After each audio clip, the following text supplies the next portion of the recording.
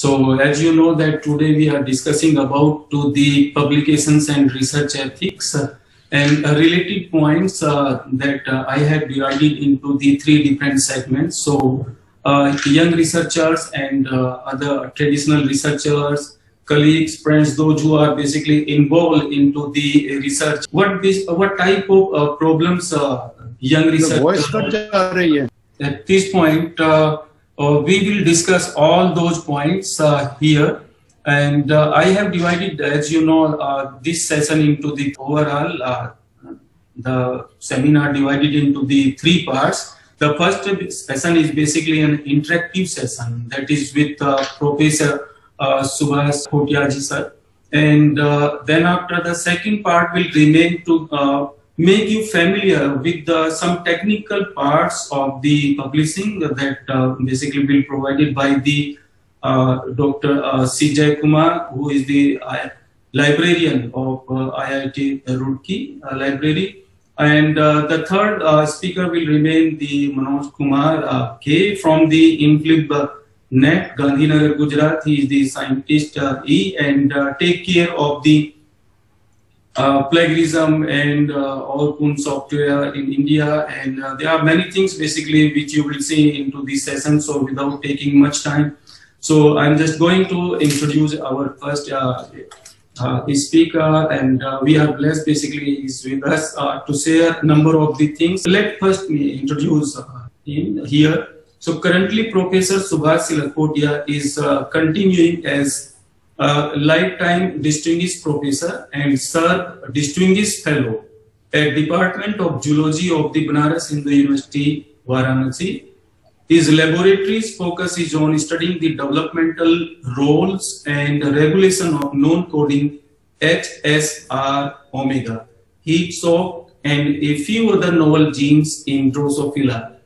Using genetic cell, biological, molecular, and recombinant DNA approaches, role of these uh, genes in modulating uh, apoptosis and uh, neurodegeneration in uh, Drosophila models of human disease and uh, cellular effects of certain Ayurvedic formulations. Using fly models are also being studied.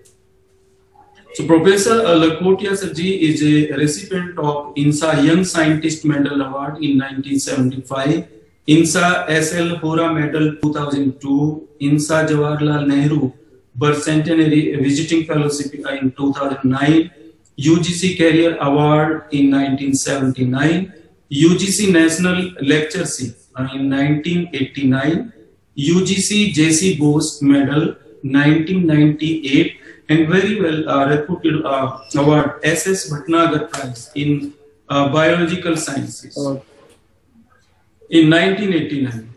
BHU uh, and uh, Sir and Professor C. N. Rao Medal for Excellence in Sciences, DST Ramanna Fellow, DA Ramanna Fellow, BHU Emeritus Professor, INSA Senior Scientist, BHU Distinguished Professor, SERB Distinguished Fellow, Fellow of Indian National Acad- Science Academy, Indian Academy of Sciences, and National Academy of Sciences of India, Senior Fellow of Cell Stress Society International, current member of editorial boards of J Biosciences, RNA Biology, Cell Stress, and uh, chaperones, ex-editor in chief of the proceeding of the India Indian National Science Academy. There are so uh, basically the list is so long related to their publications and their activity in addition to the regular research. He also published the uh, article in addition to this uh, in terms of the uh, research and publishing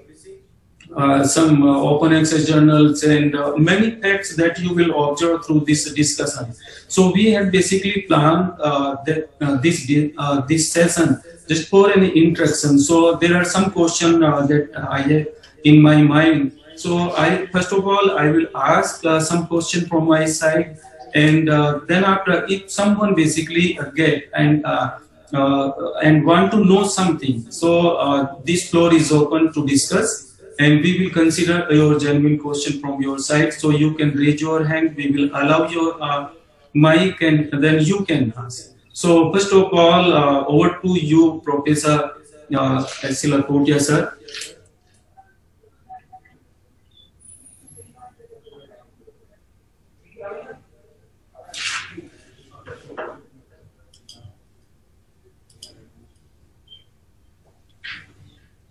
Yes, sir.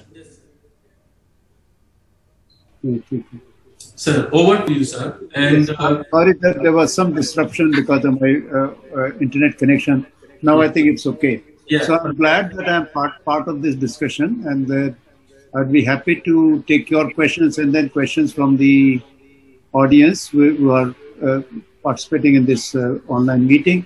Because the question about publication, or ethics, and the research journals, and the, the multiple issues that we, we really need to understand and uh, we need to discuss. So I'll be happy to take all the questions. So you can start with the questions.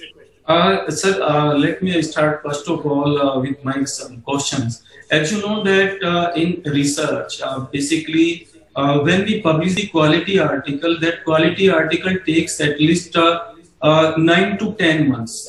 As you know that five to six months uh, basically it takes to collect the data, to analyze the uh, data, and then after uh, drafting of the manuscript, uh, and then after we submit the article and then after for the review process it takes uh, three to four months. So it takes around nine to ten months. My first question and uh, uh, and this is basically uh, is uh, i think i personally feel that it is of uh, interest uh, if someone don't know those who are basically young researchers then after spending uh, the uh, uh, nine and ten months on a specific research article, and some uh, many times what happened that uh, when we publish the quality article, we also take the research funds from the government of India, that is public fund also. So we are spending our valuable time and uh, the money of the people. And after it, when we publish our article in a reputed journal, what happens that we transfer the copyrights to the uh, publisher. So uh, why why basically do we need to transfer all our rights uh, uh, to the journals? So uh, I, I, basically I want your view and uh, points uh, on this uh, particular issue. Yes, that, that this is a, rather complicated issue now because unfortunately research publication had uh, transformed itself from academic publication to commercial issues and that's where all these unfortunate things have come in. Copyright transfer because the publisher is publishing, making your things known, therefore they, they claim that they have the copyright. But then copyright should also be with the author. The, the, the author does retain certain copyrights. See, nobody can publish, republish, recopy, or, or reproduce anything from that is published without permission of the author, unless author has given a clear permission that this can be used, uh, re, uh, or modified any way you want. But then, if the uh, commercial publisher has taken the copyright, that's only for the commercial benefits.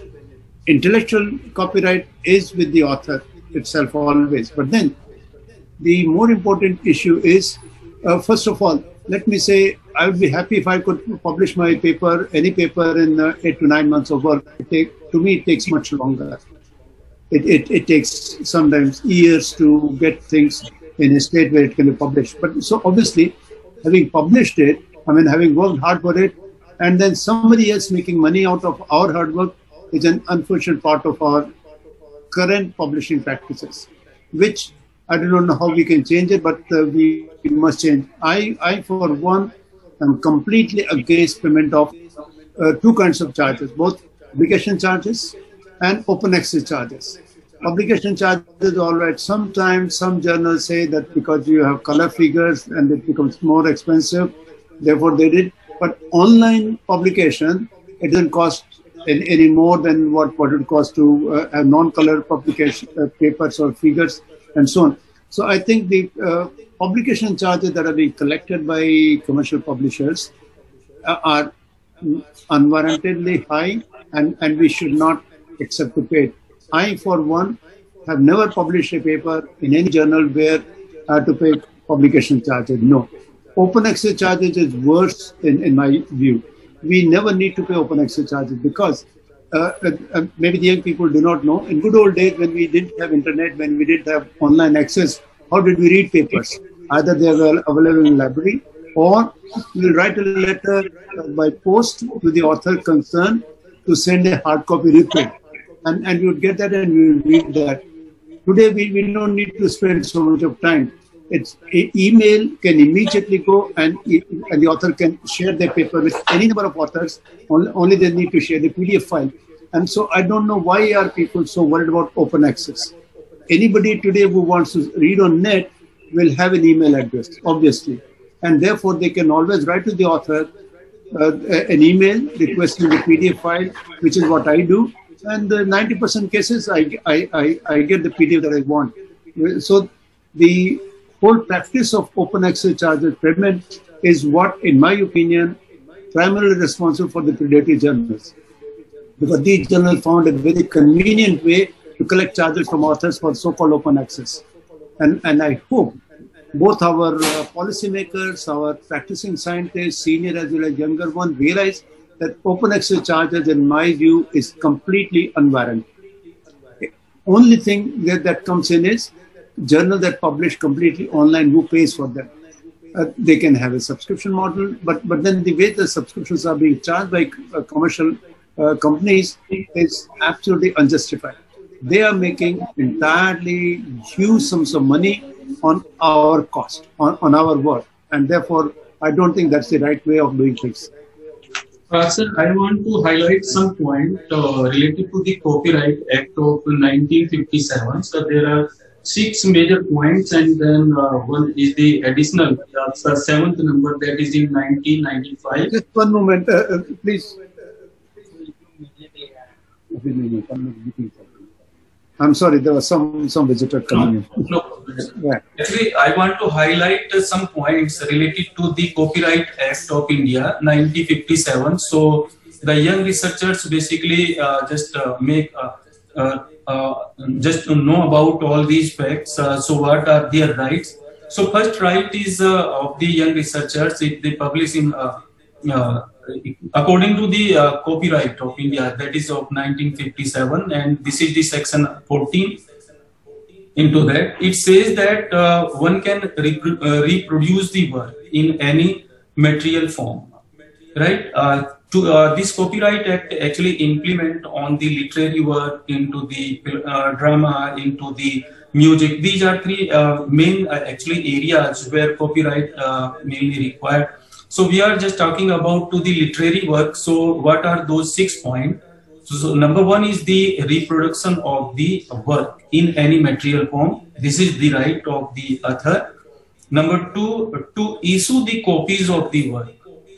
Uh, number three, perform the work in public. Number four, recording in any form, whether that is in musical form or video form. So this is number four. And number five is translation of the work. At number six, adaptation of the work. So uh, basically, if uh, you are aware about all these facts of the Indian Copyright Act of 1957, so the open access journal, basically those who are not CC by license, or those who don't publish their article, right, with the, without CC by license. In CC by license, uh, the copyright basically goes to the authors. And uh, if license is not CC by, uh, it may be non-commercial, it may be non-derivative, it may be share alike and combination of these two. So we have to be very familiar with the licenses of the uh, this uh, uh, articles or where we are publishing. So in CC by actually uh, all these six are basically transferred to the authors. Uh, but if uh, the journal is not CC by and then it basically hide the information, hide the knowledge of your hard work. So this was one of the important points uh, that I was thinking to share with you. All right. Yes. No, no, I. It's good to know about the copyright law, but but let's understand. When we publish a paper uh, within India or outside India, now, then there are two parties involved, not just the author, not just the persons who have created the work, be it music, be it literary piece or research paper or whatever it is. There's another party which is publishing. And if that party is outside India, then laws automatically do not become only of Indian laws because and, and actually having signed those copyright papers when we publish a paper, we have agreed into an understanding that this is what the privileges and uh, uh, rights of each party are. So there, it's not just the, the laws of government of India that will be applicable. And one thing I'm not sure whether these these rules have not been modified subsequently. But presuming that this is so, yes, author retains the right to reproduce, but because it has been published by a company, the company's permission is also needed. Because author is not uh, himself or herself publishing the whole thing entirely. There's another person also involved, another organization is also involved, or be it commercial, be it academic, whatever it is, and therefore both have to agree for reproduction.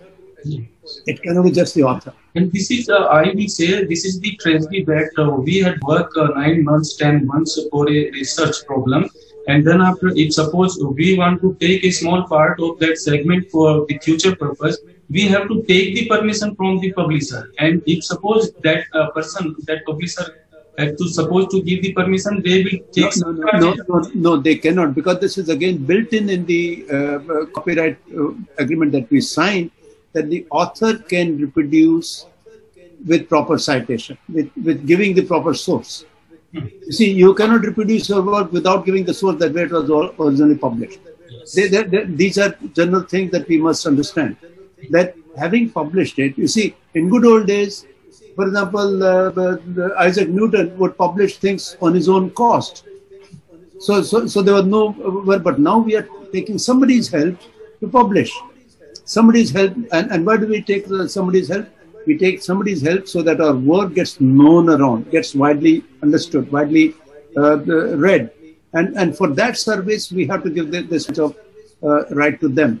But then the tragedy is that they are taking too much of money. Copyright, yes, and, and then basically what, what also happens is many times these publishers give a wrong impression to the authors. For example, many of these publishers, what they do, once you publish a paper, they send you a link that you can share that link with others. Unfortunately, that link is to their paid window, not to the uh, free PDF that as an author you get it. The free PDF you get some days later, a week later, which you can share. Now, now this is where the smartness of these publishers are, that because the link that you share is not providing them free PDF.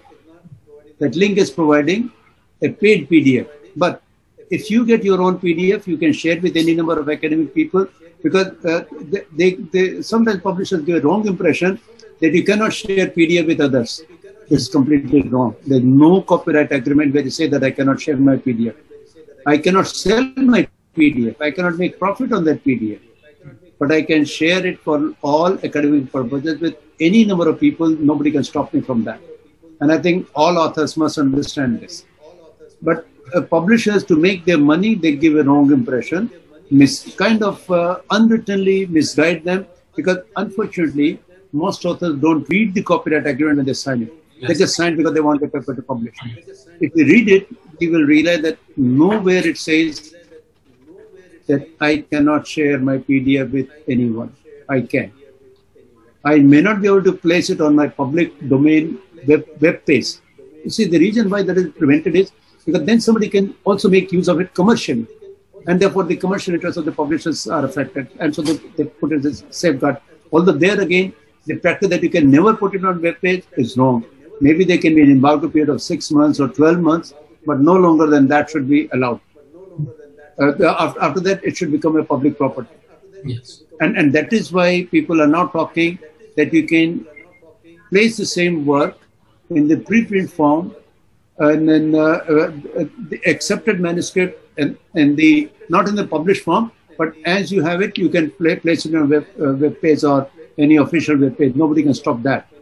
Only the final product company says, uh, the publisher says it's it has to need their permission. But sharing the information, uh, there's no limitation in sharing the, even the final PDF. There's no limitation on placing the accepted version of a paper on one's website. There's no limitation in sharing the PDF file of the final product with any number of uh, fellow colleagues. This should be understood.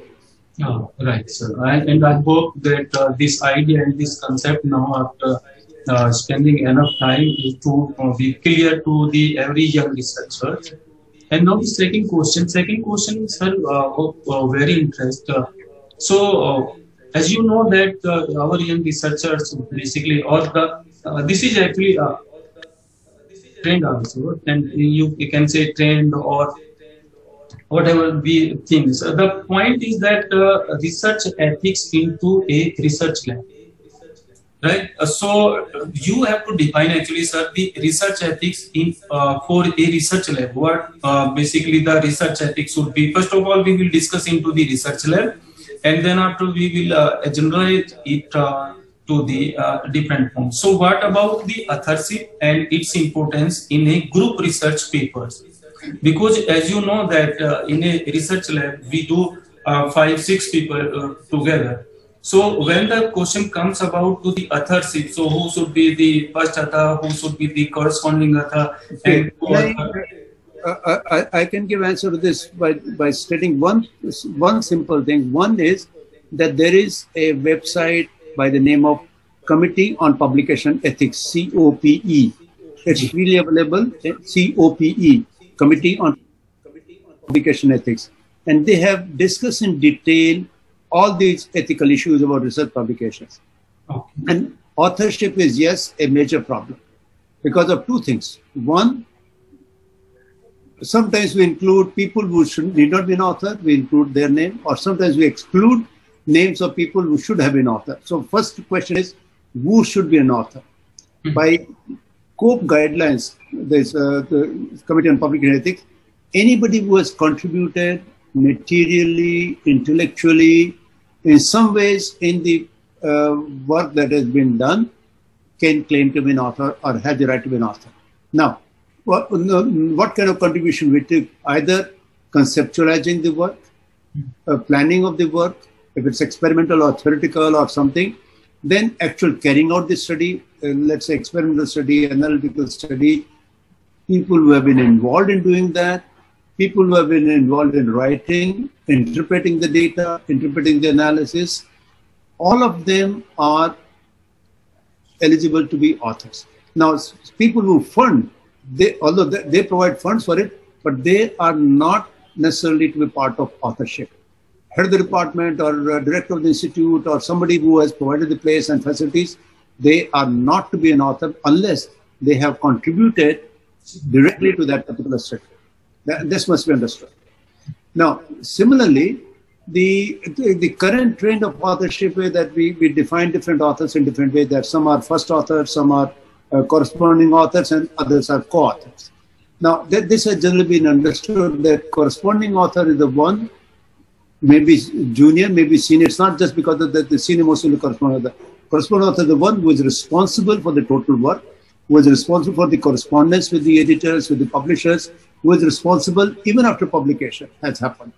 To answer to the other people who, who may uh, uh want a PDF file or who, who may some queries about the publication, we, who may want some material uh, uh, that has been referred to the publication, that's the corresponding author. That is, the corresponding author takes responsibility for all correspondence, all official responsibilities, taking care of publication, uh, the the institutional ethics committees and so on and so forth. Everything is on corresponding author.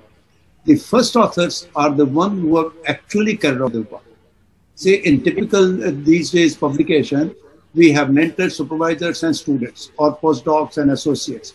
So it's the mentors or supervisors who, who provide the, who may conceptualize, who may plan, who may get the funds, facilities, and so on and so forth, and then interpret and guide the work but there are students, postdocs, and others who actually carry out, carry out the work. So it's typically they who are made first authors, who have contributed maximally.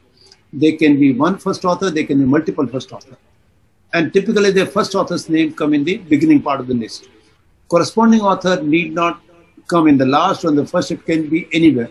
Even, even if there are 10, 10 authors, somewhere in the number 5 or number 6 can be corresponding author the order in which the names are placed it should be a joint decision of all the authors as to who agrees and, and they all must agree. Likewise, when we submit a manuscript, all, all authors must have agreed, must have formally consented that yes, this manuscript is submitted. For a corresponding author to submit a manuscript without informing others is unethical. Likewise, uh, uh, authorship there's a uh, often a debate about uh, PhD work coming, uh, publication coming out of PhD work. See, with in, in, our country and others also, where quantitative parameters becoming important, how many papers you have, a general tendency has been that almost every PhD student in a given group becomes authors in all papers. This is completely unethical. Because, and the ethics says only those who have really contributed become part of the authorship. So if somebody is included in the, some work is included, some results or analysis included in one student thesis, it is presumed that entire information that is included in the thesis is of that particular student only because this, that particular student is getting degree out of it and declare that this is my own work. Now, if in the same work when it's published as it is, and there are five authors other than supervisor, the question is what, what did the other uh, two, three authors did? Why should their names come in? And this unfortunately has happened just to in, increase our API score, which is unethical. Uh, these are some of the points that we should consider, but I think more details anybody can see on Committee of Publication Ethics website. It provides details. We, the Indian National Science Academy has also come out with a book which is available on the INSA website, free download on publication ethics. And, and, and I think any young person, senior person, should go through these ethical issues. Uh, there is one uh, point. Uh, actually, when uh, we uh, do and uh, publish the research work, so in a research lab, or you can say that we five six people work together, and during the PhD time, what happens that we acknowledge the people, those who basically support us. But at a later stage, I, I I want to share a case that I have observed recently. So what happened actually that for uh, during the M Pharma uh, work of a student, uh, what basically she did at, when she joined the PhD, that time uh, she thought that uh, let's suppose uh, publish the uh, M Pharma work into a, specific journal. And the lady basically published the article with the new supervisor and with her name. Now there, there are two. So article has been published but now the person comes in the picture that basically was acknowledged into the uh, acknowledgement. He basically asked that I am also the co-author of this particular paper. So either involve me or uh, retract the research paper. So in this case, basically, this is very important because in our country also that ME, MTech, M-Pharma, like this kind of thesis work, uh, they, the people publishing to the later stage when they join the PhD or uh, the, this thing. So this time uh, we have to be very careful. Uh, I'm asking the question, does we have to be very careful uh, that when we acknowledge the people, someday they can ask that I am also the uh, co-author of this particular research work during the uh, that uh, master course? Well, the, the question is acknowledged for what? So there are many people are acknowledged for providing various kinds of help. The important point is if this was the acknowledgement was for some data, some information that was provided by a person concerned and that became part of the published paper, then yes, that person will have the right to claim authorship. But somebody uh, provides general help by being good friend or by providing, for example, an experimental setup. We have a number of lab uh, lab helpers, technicians who help us in with, with many many facilities. They do not become necessarily authors, although we acknowledge them that they provided this help. But that doesn't make them uh, claiming to be authors. So authorship is only if they have materially contributed in information, in data collection, conceptualization, and so on and so forth. For example, I've been author in some papers with, uh, with people whom I've never met, but we have been author because we provided conceptual framework, we provided some discussion on in a review, some data and that review, and so we're joint authors. So it's a question is, what has been the contribution of the other person who is claiming to be an author? Just by being acknowledged in general doesn't necessarily mean that one is an author.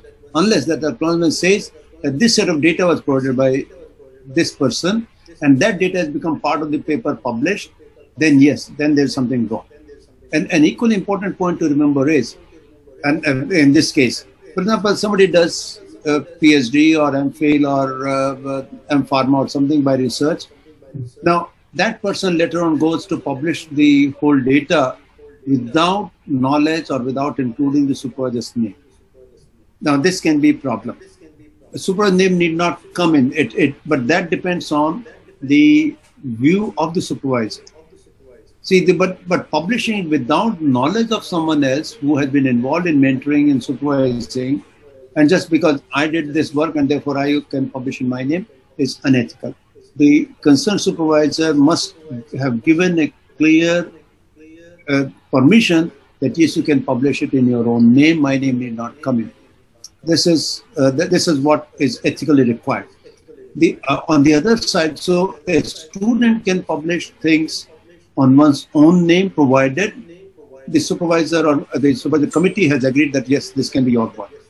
But a supervisor cannot publish student's name without student's name. Because supervisor may say, okay, I provided facility, I provided the concept, I provided this thing, and this person worked and uh, got a degree, and now I can publish it. No, supervisor cannot publish because work has been done by someone else, and for which, you see, the work has been done. There can be two cases as a technician or as an academic person, where you get a degree for it. So in that case, that person's name has to be part of it. Uh, but this case comes into the conflicts of interest. Yes, someone is asking the question, is there one? Uh, basically, this interaction is uh, to make uh, awareness about all these things. So it will be great if someone have any type of question so they can raise the hand or uh, it will be great. Uh, so we are looking some question from your side and we will take and it will be our pleasure to say and interact with you, right? My dear young friends, young researcher, please come forward and just ask the question whatever comes in your mind after the discussion. So this time we are talking about to the conflicts of interest. Uh, so it, yeah, someone is basically asking. Yeah, some the, Mamta Agrawal is asking. Yeah, yeah. yeah. Go ahead, please. Unmute yourself and then ask the question. Hello. Yes. Yeah. yes. Good morning, everyone. Uh, am I audible? Yes, yes ma'am. Okay, so I want to ask, like, when there is a big collaboration between two institutes, like I'm a theoretician and I collaborated with an experimental group. They had performed some experiments and they got some results. Then I did the theoretical work completely. I used my models and I interpreted some results and I gave some theoretical description to that, their experimental results. And there was a very good uh, agreement between the results. Then I asked for at least uh, the second number of authorship. So, but they said, you know, they have a group and this and that. And then they gave me third authorship. Uh, I have seen some papers that when the theoretician, uh, there are two things. There is an experimental group who has participated and uh, they want to put the experimental group in a certain order. Now, if the theoretician and my uh, collab, my contribution to the paper was quite a long. I mean, there was two, three pages of the th entire theoretical concept and work. But I was given a third number of authorship, whereas I preferred that you give me either the last author or you give me a corresponding, additional corresponding author. So, but I accepted that, but uh, I was not very happy with the third number of authorship. I would have preferred as a senior, either you put me at the end, but they had to put their head as the end or last author. So in such situations, I mean, what should be the uh, criteria uh, when a theoretician and, uh, you know, if we want to be seen uh, separately, I mean, okay, you have a major contribution in the paper. Right. You see, the, the question is that we cannot have any uh, straight-jacketed uh, uh, procedures or methods or guidelines for these kinds of issues.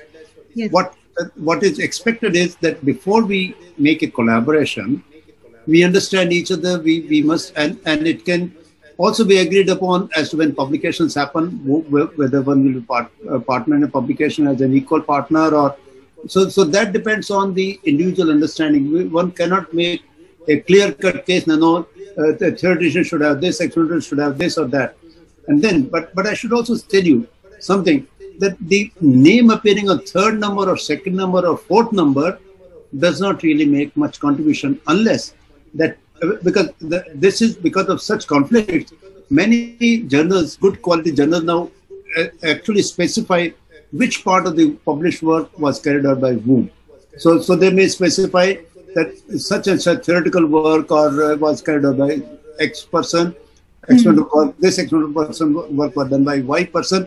Many journals now publish these details. And I think that's a good practice. So that hmm. everybody knows, every reader knows who has contributed in what way. Otherwise, you see, uh, because head is an author, just because he or she happens to be head, is unethical. In, in my view, unless the head has also contributed something intellectually or experimentally or theoretically in some ways to improve the quality of that work, not just by, by being head and by, by providing facilities. No, that doesn't make a contribution. Contribution is to that specific study something that is intellectual, experimental, actual work done, writing the paper, uh, uh, giving some ideas for that paper, then yes. Yes. Yes, so, right. so these are issues. You know, these are very difficult issues. They, they can. I, I know that they result in lot of uh, uh, bad blood between people. But then, if these are everybody takes care of these the basic ethical issues, Yeah. we will have much better uh, and, and sweeter relationships. Yeah. So- No, I so- understand. We, huh, yeah, sorry. So it's always good to have a clear understanding before entering into collaboration of this kind. Yeah, Yeah, actually, it- initially the author, first author told me that I'll be second author. And but after completion of the work and after the finalization of manuscript, they they put me on the third place. Ki no, no, the other person had done a lot of experimental work, and I have to put, and the whole group has to agree to that. Anyways, I accepted that. I didn't fight for it, but uh, I'm just asking, ki, uh, is there any uh, mechanism for a theoretician or experimental no, group no, to be? no, No, no, no. no. You see, Okay. at least as far as I'm aware, there's no hard and fast written guideline about this. That so and so has to be this and so and so has to be Yeah. this. It's a question of mutual has to be- understanding. yeah, it has to be mutual and- understanding. Yes. Yes. I have another question. Uh, you were saying something about uh, the sharing the uh, our PDF for my published paper on some web, uh, some common social media. Yes. So I had shared one of my published paper on ResearchGate, Okay. and then I received a message from Elsevier uh, that uh, you know you have the copyright problem and you cannot share this paper on ResearchGate. Yes. yes. I see there are so many my older papers we uh, share on the research gate. So I mean, no, no. what is the- the The, issue is like this. yeah you you you check your copyright agreement that that was signed if Mm-hmm. it say that for a certain period of time you can put you cannot put the final product on the on a researchgate or any uh, public uh, domain uh, website then you cannot. But what you can do is as i said earlier your accepted version you can put it and place on that publish so and so place. That's it. Yeah. The, the accepted version can be placed and that Elsevier cannot stop. But Elsevier will uh, object to this because your copyright form say that you, you will not place it on either there's an embargo period for six months, one year, two years, or uh, some journals keep it indefinite, which is Okay. unfortunate. But most journals have a certain embargo period. Till that period, you cannot place it on your website. But what you can place on your website is the accepted version, not the final PDF. But your final PDF you can share personally with any number of people. So, so for example, Yes. what I've done in my on my ResearchGate page is where I don't have permission to place uh, the final version, I place the accepted version with a note there that anybody who is interested can write to me and I will send the final PDF. yeah that's true. People request and then personally we send them. Yeah, Yes, that's yes, that's right.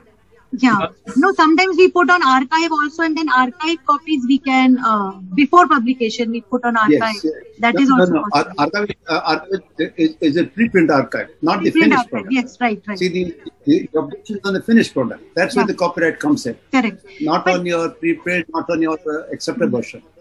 But on archive also there are few uh, choices of uh, copyright choice. Which one to choose? I mean, we No, really no, it is no, very no. difficult to for us to decide. Yeah, yes, you, you see, it depends on when you are putting on preprint, you, you can decide whether you are absolutely confident of your work. But then typically it should be that anybody can refer to this, anybody can read it, Uh-huh. but they cannot reduce it, they should not. Okay. You you see, because you, what you're publishing right now, that time is, it's possible that you're making uh, uh, uh, your initial data, which may cannot be wrong. And actually, on preprint archives, you have the option of revising your manuscript. Like I know either two, three papers, uh, it took long time to publish. We, we put something on uh, preprint archive in nine- uh, 2016, Paper was Uh-huh. published in 2019 or later. And every year, every six months, as we revise the work, we, we kept on revising the preprint archive also. So in the preprint Okay. archive, there are three, four versions of my paper. Okay, okay, okay. That is possible. Yeah, that I is know possible. Go, Okay. the, the, when I talk of preprint archive, please be careful. Now there are predatory preprint archives also. Mhm. They say that they will publish a preprint, they'll charge money, Mhm. and then disappear. Now, don't go for that. No preprint archive should charge any money. Okay. Absolutely no. And a preprint archive should be established which is available eternally. And that's where you see in different domains. For example, in physics, their archives have been there for very long period, almost for 50 years or more. Similarly, in biological sciences, Cold Spring Harbor has come out as a bioRxiv. There are similar archives for all science subjects. And I think the established archives are the ones that should be used. And journals have no objection that, okay, your article is available on preprint archive or can you submit it? There's no plagiarism in that case. As long as you uh, you have cited that you have informed the journal that this has, this is placed on the preprint archive by you. Okay. Sir, I Okay. want to add. Thank you very much. Yeah. Thank you. I want to add one more line here. Actually, in case of the first question, uh, question of Dr. Mamta Agarwal uh, about to the authorship, actually, mo- uh, many journals what they do, they uh, put their name alphabetically. So uh, in that case, uh, there is no problem. But the most in, in this case, uh, I, should make a correction. Journals don't put it alphabetically. It is the authors who decide to put it, put it alphabetically. For example, the, many of the, uh, the uh, papers coming out of, of the CERN uh, reaction uh, system, there are 500 authors. yes. So there, the, the policy that the group has taken, that names will be placed alphabetically. Journals cannot decide that the order. No, journals have no right to decide the order. It's the authors who have to decide the order, and they alone have the right to decide the order. Okay, right. So Okay. uh, next next point is about to sharing the article uh, anywhere, whether that is the archive or uh, your social media or any other website. You have to check the license. Only CC by license allowed to share, reproduce the work. All the right provides to you CC by license. So uh, you have to check the license type of the journal, which license basically they have put for the copyright. Yes, but but I should say one thing. Sharing PDF is applicable in all kinds of license. Uh, not selling PDF, sharing PDF on a friendly basis, on a peer uh, basis, with any academic uh, purpose. Nobody can stop sharing a PDF by, by the author to other uh, other fellow colleagues. Right. That cannot be stopped by any publisher, any copyright rule. Okay. So there is one more question from uh, Dr. Arun Srivastav. Uh, Dr. Arun Srivastav. Yes. uh, Hello, Yeah, yeah. uh, sir. Good morning, sir. Good morning. Uh, sir, I am Dr. Arun. I am an alumni of IIT BHU. I am very happy to see you, sir. Good. Sir, I have some doubts, sir. It's not basically questions. Uh, I have uh, just uh, communicated. I had communicated one one article in Elsevier, and the editor has rejected by saying that he, it is having uh, plagiarism, more plagiarism. Okay. So uh, I again checked because uh, I am also working in Chitkara University. So I again requested to my librarian again for checking its plagiarism, and it was around seven to eight percent. So uh, I contacted again, but they say no, it is having more. But I could not understand how software is varying. So I just want to know whether all ethics for the authors only editors are not following something like that. It may be some illusion in my mind. So sir, can you just clarify these things? The, the, the pro- problem with the software-based checking of plagiarism is this, that uh, Right, all plagiarism will find out uh, a string of words if they're similar. So depending on where you put the cutoff value in your uh, search, uh, you, it, somebody may say, okay, even if two words are similar, that's plagiarism, or, or that's, that, that's identity. So the editor Right. has to take a call. The person, uh, so the what is the filter level? Then you see many good journals will find. Sometimes I, I, I, I can share you something with my own paper. We had Right. published on preprint archive. We submitted a paper to a journal, and journal writes back that, that we didn't expect from you to have a 96% identity with some published paper. I was shocked myself. my, my paper has 96% And then I realized, then I told that, look, this is preprint archive. Then the editor Right. understood. You Right. see, the machine will tell you that, okay, there's so much of identity. It's for the Right. editor to look at. But, but in general practice, there are there are few other issues to consider when we talk about identity. One is that main area where we check on identity is the introduction, the Right. results, and the discussion.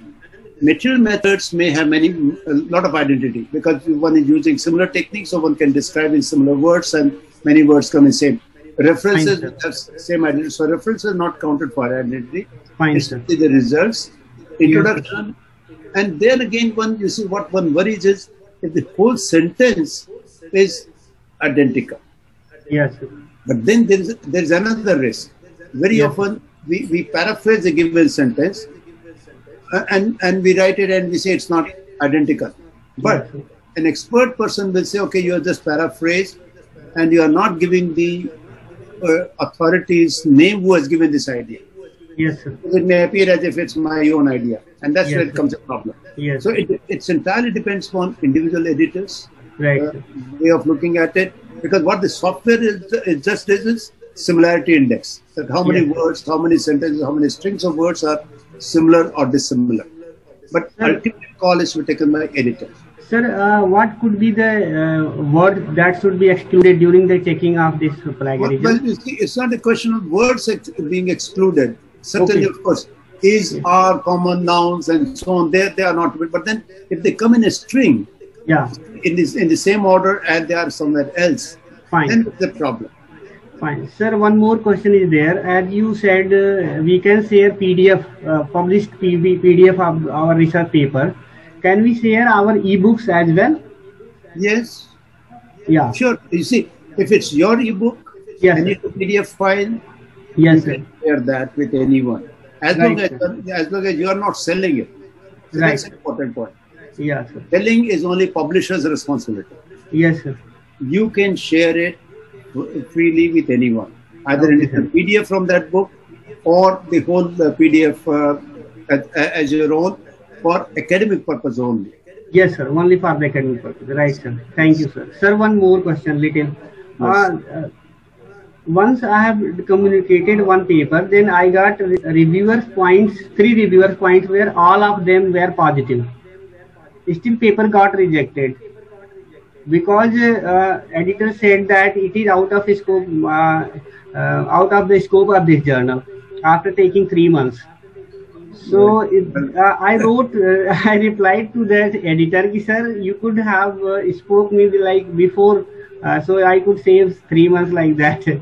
So that's because of that reason, so, uh, some things uh, are in my Yes, mind. I, I, I, I know there are there are lots of issues in publication process. yes, I sir. Yes, sir. and uh, but there's no solution. We have because you see, the, the, again, the unfortunate what has happened is, Yes, as sir. an editor, I, I can tell you this, as having experienced this, that any journal receives numerously large number of paper, then they can process. Right, sir. Right. So what has happened now is, it's rather than selecting a paper, editor job is rejecting a paper. Unfortunately. Yes, sir. Yes. And, Thank and you, so sir. they have to find some excuse or the other to say, okay, so so there are some pet excuses out Yes, of scope. Thank you so much, sir. That's easier. So it, it, it, it may be true, it may not be true. It depends. Thanks a lot, sir. Thank you so much, sir. Uh, there is one more thing uh, that I uh, want to uh, include into this one that uh, when we check the plagiarism, uh, that we have to check uh, all the sources manually. Uh, you have to check the length of the article, how many words basically are in your article, and what is the percentage of the sources that the software is defining. Uh, that is also equally important. If uh, in your case uh, there is only one source, if suppose that percentage similarity index came 6% and that is coming from uh, only one article. So it, it may it may raise uh, the point uh, from the uh, editor side. I think And second thing is that uh, about to the similarity index. Many times what the people do, they just copy paste the references from elsewhere, another paper, and put into the article. Because of that, sometimes the similarity index comes. Because that time software get confused that where he, he basically uh, uh, uh, put that particular source. I can show this any time, but this time is not uh, this uh, not allowed to me to uh, show all those things. Actually, in my case, I have observed similarity index in one paper where the people what they did uh, they just quote a, reference, and that reference was in Chinese language. But uh, software suggests me a different uh, website, and when I searched it, it was the different particular website. So this thing, as such, said that plagiarism or similarity index we have to check manually and uh, the technical point is only one that you have to check the sources, Dr. Arun Srivastava, that which sources basically uh, uh, shown in your report uh, with uh, more percentage, more than one or two percent, and uh, it, it depends on the length of your article. So that thing you had also noticed because if that person is saying the similarity index, it means that one or two sources basically are highlighted there with more than 2 or 3 percentage, most probably. So by the way, we are taking next question from the Ashish Kumar and uh, the Ashish Kumar. Uh, uh, good morning, sir. Good morning. Uh, good morning. Uh, in some of the cases, uh, some of the journal may reject the uh, manuscript. so, according to them, the manuscript can't meet the standards or the requirements. So they provide a service of transfer manager where they recommend some of the journal. So we accept it or not, sir? In such well, cases. see, the question is this unfortunately, in my experience, most of the transfer journals to which they say to, that they can transfer are the where you have to pay certain charges. Okay. And so I would not agree to this. So right. I agree when, when because this experience I, also have had many times that the journal say this is we are not accepting, but we can transfer the manuscript to some other journal. But if that right. is, uh, I can publish without payment, I may agree, depending uh, because uh, first of all, any journal, uh, if I agree to submit, I must look at that journal, what quality it is, whether it is in my field or whatever it is. But then, if they trans, you see, this is something that has happened. Unfortunately, again, I consider it a, a kind of predatory practice. That a good journal has a subsidiary journal. A good journal has a high-ranking, subsidiary journal has no low ranking. But then, paper rejected from this becomes accepted in the other paper because you are paying for it. And that I think is a wrong practice. So I would not uh, agree to transfer to a journal where the editor says, okay, we can transfer your journal uh, to that journal. But then if there I have to pay for it, I, I, I don't consider. All right, sir. Thank you so much, sir. Got it. Uh, is there anyone? If no, then uh, let me uh, put one more point here. And uh, there, there, there, are two, three more hands I can see raised up. Uh, three. Actually, all basically had asked the question, and there is no any other question into the chat box. Okay. Uh, so uh, there is one more important thing, sir. Uh, right now, I'm looking your lab, and in the lab, actually, the researcher works. So a relationship actually matter into the research lab.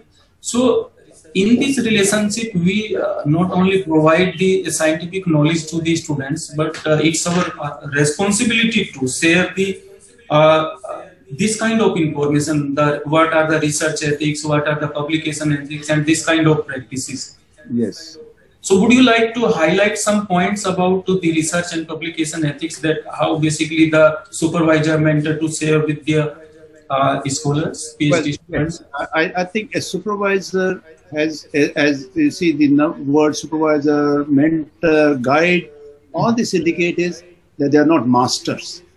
They are, they, are, they are not dictating something to the students. Student is not is not a technician. Student is also a researcher, and and that is first thing we must take into consideration that a PhD student or some other student under me is not my technician. They are they are researchers, and therefore we must have free exchange.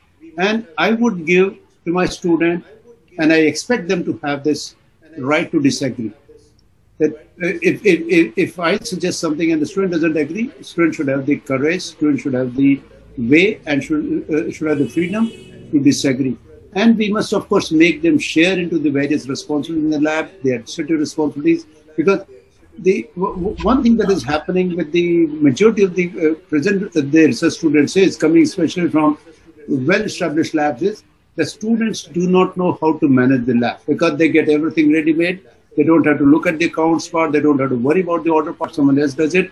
And so when they get into their own position, independent position, they're completely at a loss. So I think PhD training, we are, while even if we train them intellectually very well, if we are not training them into some bit of administrative responsibility, some bit of the actual running the lab responsibilities, how to write a project, how to write a manuscript, all these have to be also part of training we should do. And I think we need to take into consideration. Now, of course, UG said made it mandatory that every PhD student must undertake a two credit course on ethics, which is very good. But but if this course is just done for a filling of the blank, then there's no point. It should be seriously done. It should be seriously taken by students also. Similarly, we need to also train students how to write a letter, how to write a project. Because, because very often we find that students have got their PhD, but they can't write a letter because they never were exposed to it. And, and, and so th these are other things that we need to uh, train our students in these processes. So there is one more question from Dr. Mrutyunjay Bhuyan. Uh, Dr. Bhuyan, are you there? Yes, uh, I can hear. So uh, here actually I am not issue about the publishing and other because I have just uh, a query related to the uh, means acknowledgement. In the acknowledgements, in uh, some of the work, even also in the theoretical work also, there is many acknowledgement uh, suggesting in the paper corresponding to a single publication. So how appropriate to we have such uh, many number of fundings or some things like uh, to be added in the publication? But see, ag- again, there can't be any hard and fast rule about it that you can acknowledge only two and not four. It depends upon who actually help.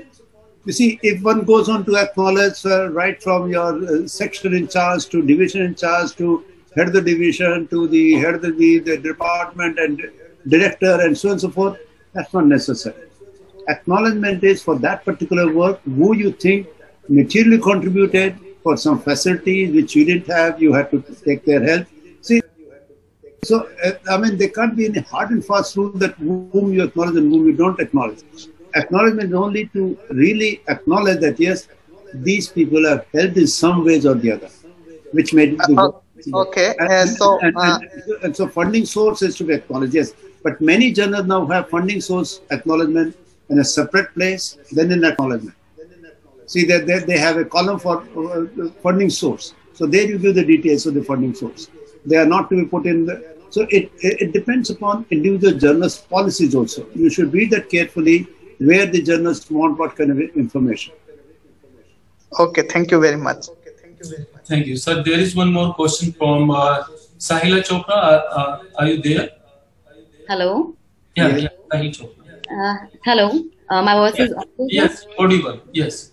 Yeah. Good morning to everyone. Uh, sir, I have a question regarding authorship. Actually, I'm a theoretician.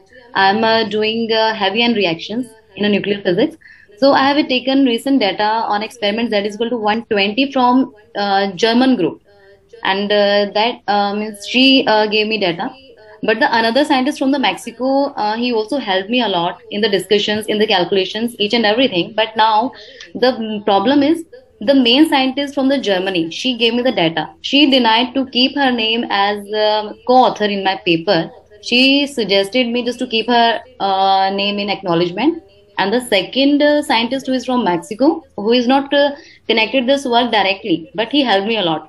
He don't have any problem. So what should I do, sir? Should well, I?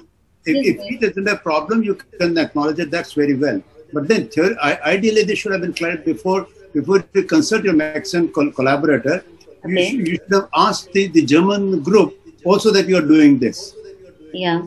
See, it, it's always uh, one learns from experience. So, in, in any such case, when you're because see, after all, the, uh, I would presume German group you data in confidence that yeah. Yeah. this data, and therefore sharing it that with someone else Mhm. can be a problem because they may not want it to be shared unless you inform them.